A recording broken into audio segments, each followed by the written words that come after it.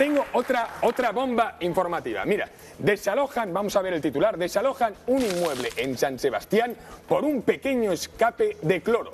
Bombazo informativo. Pero Dani, ¿Qué? esa noticia no es una bomba informativa, es una chorrada. Bueno, cuidado, era una chorrada hasta que pudimos ver las declaraciones de la socorrista responsable del desaguisado. No la perdáis, amigos, porque no tiene precio. O sea, a mí me ha despertado más ternura que una película de Disney y abrazar un peluche un domingo que llueva. Mira.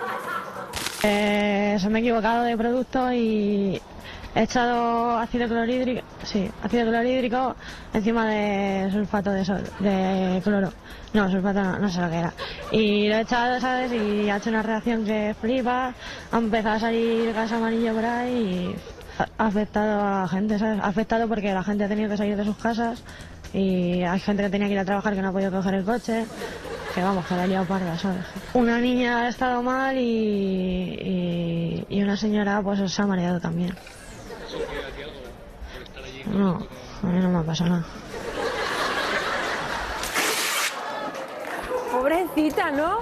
La he liado parda, dice. Qué disgusto tenía. La verdad Carita. que, es que da, a ver, no ha pasado nada. da, da- da mucha, mucha penita la muchacha. Yo desde aquí, de verdad, te invito a que vengas al programa para que te demos entre todos un abrazo.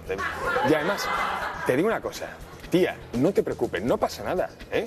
Porque no es la primera vez que pasa algo así. De hecho, tenemos imágenes.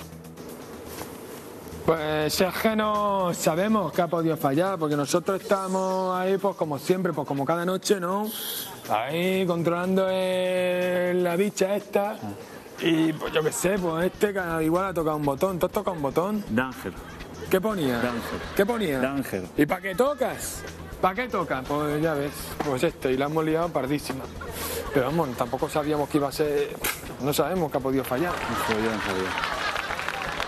No nos